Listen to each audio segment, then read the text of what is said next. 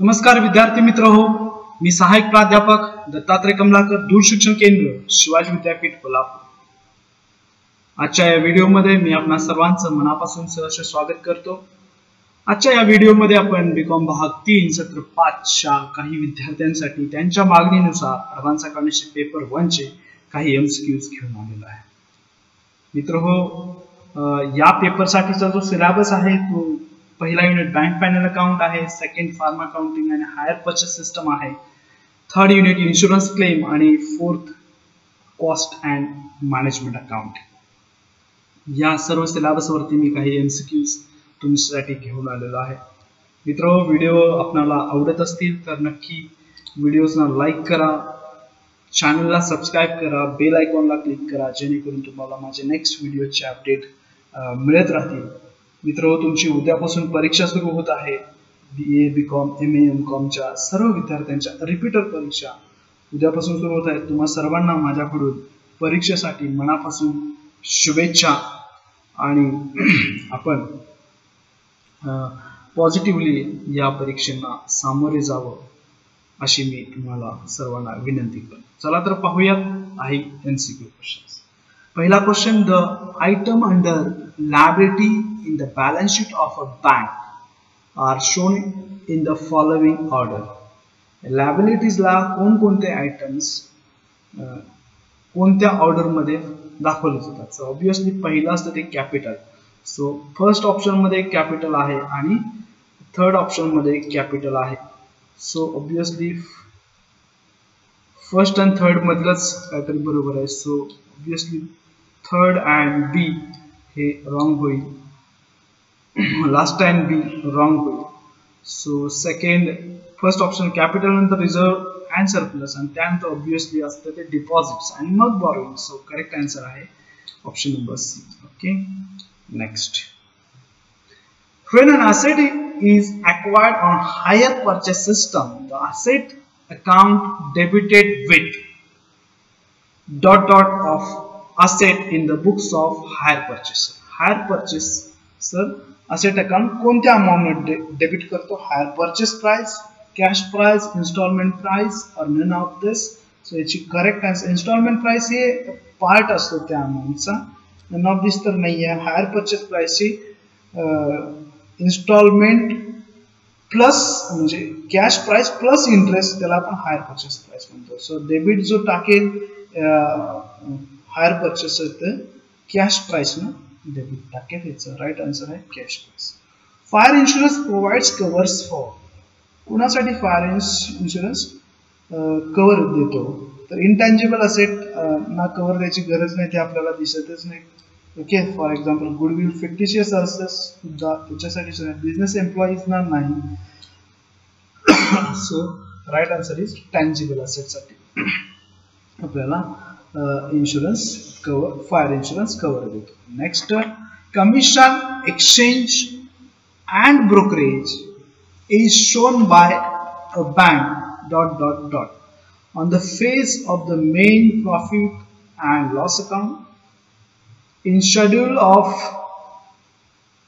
operating expenses in schedule of other income in schedule of interest earned. The correct answer is in schedule of other income. Because हे बँकेसाठी commission exchange brokerage हे income आहे. So schedule number fourteen मध्ये कदाचित हे income from other other income म्हणून schedule number fourteen मध्ये घेते. Next ownership of a goods under hire purchase agreement is transfer at the time of जेव्हा hire purchase agreement होतो त्याच्यामध्ये ownership ही higher वेंडरचीच राहते. किंवा हायर वेंडरची राहते. आणि त्याची ओनरशिप कधी ट्रान्सफर होते? बायरकडं तर ती परचेसरकडं ट्रान्सफर होते. Payment of down payment no payment of first instalment no so right answer is payment of last instalment so it's a correct answer at payment of last installment next management accounting deals with quantitative information qualitative information or both A and B. So it's a right answer आहे both A and B so J management accounting हे deal कसं करतं quantitative plus qualitative information जी आपल्याला मॅनेजमेंटला decision मेकिंगसाठी खूप महत्वाची Next question. According to the CIMA, England, CIMA means Cost Accounting Institute of Management, England, the technique and process of ascertaining cost is called, that's a correct answer, costing.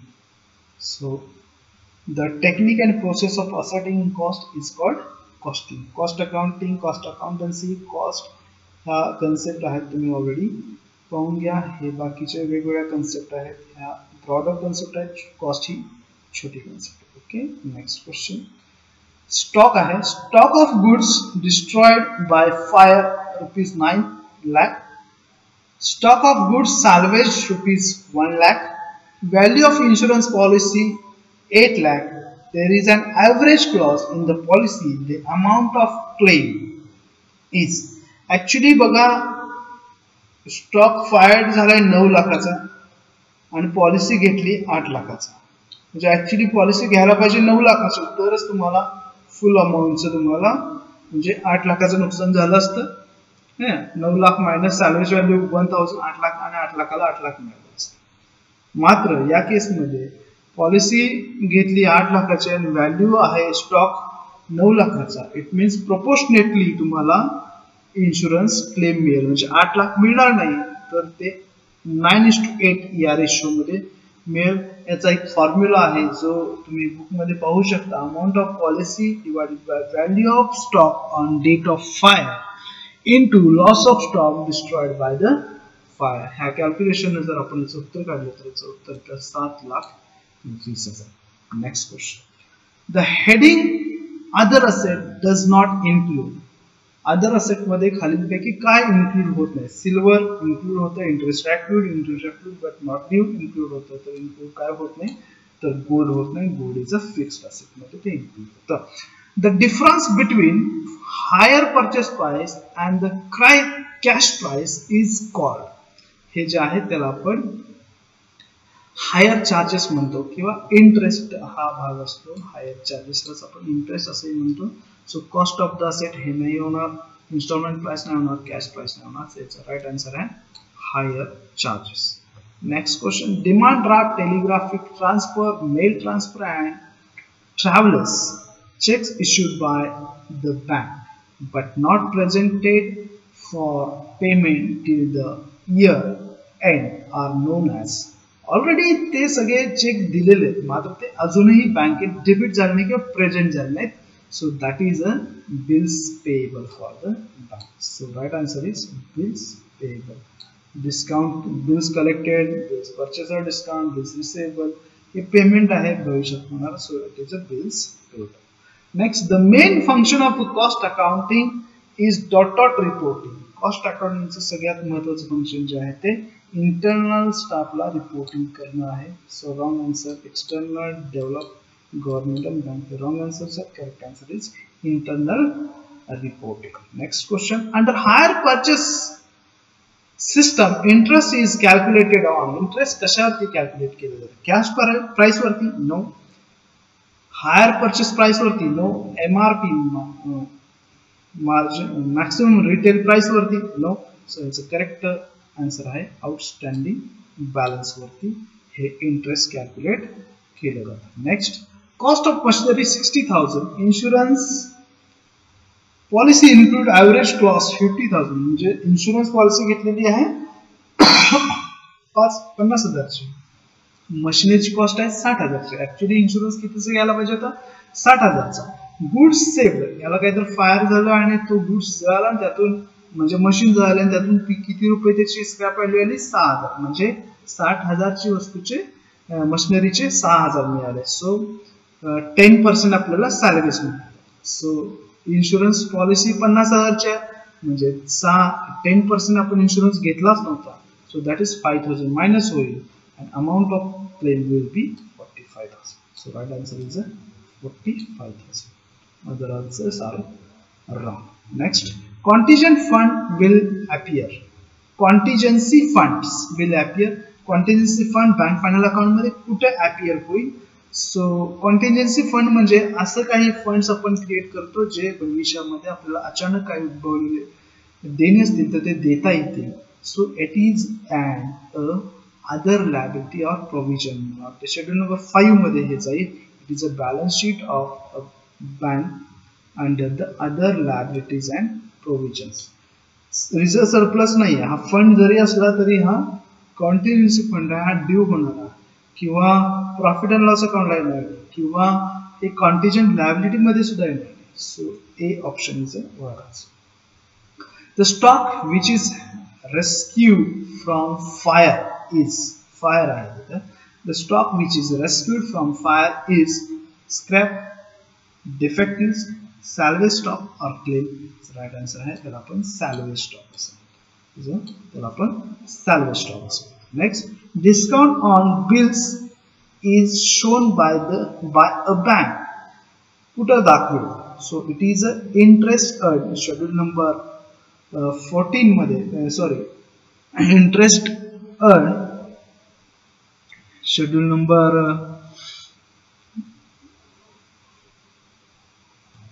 interest earn schedule number मला आता exactly आठवत a discount on bills is shown by the bank is a covered under the schedule number schedule of interest earned so that is income the 13 or 14 14 असेल schedule number okay next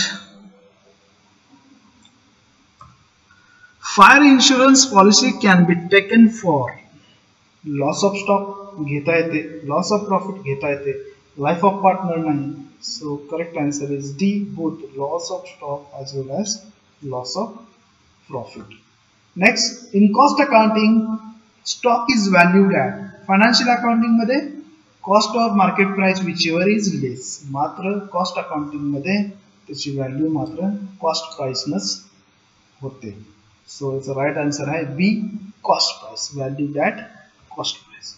Management accounting is a structure for कशासाठी हे structure आहे सो याच correct answer आहे decision making आपण निर्णय घेण्यासाठी management अकाउंटिंगचा use करतो किंवा ते आपण वापरतो okay so right answer is a decision management is a structure for decision making other answers are wrong so, if you have you have any question, please ask me in comment box. हा जो video आहे हा नक्की share करा बीकॉमच्या विद्यार्थ्यांसाठी M कॉमचे काही तुमचे मित्र असतील ते एम जे काही व्हिडिओज आहेत ते करा माझ्यासाठी तुमच्याकडून प्रेरणा म्हणजे तुम्हाला हा व्हिडिओ आवडल्यास लाईक करत जावा किंवा आपल्या अशी या बीकॉम एम कॉम करणाऱ्या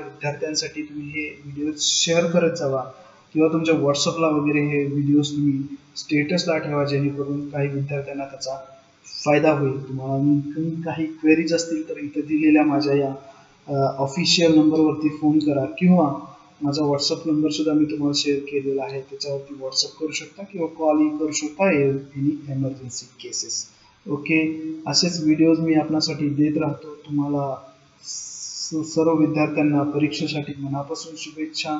Last year last semester online परीक्षा अजूनही त्याचं शेड्यूल फायनल नाही आहे मात्र ऑफलाईन परीक्षा उद्यापासून सुरू होत आहे त्यासाठी सर्वांना मनापासून शुभेच्छा. चांगले पेपर्स द्या एम सी क्यूज थोडंसं कूल आणि थोडा विचार करून ॲन्सर्स द्या. तुम्हा सर्वांना पुनश्च एकदा शुभेच्छा. लवकरच भेटूया एका नवीन व्हिडिओमध्ये तोपर्यंत काळजी घ्या सुरक्षित राहा. आणि परीक्षा चांगल्या पद्धतीने द्या. धन्यवाद. Thank you very much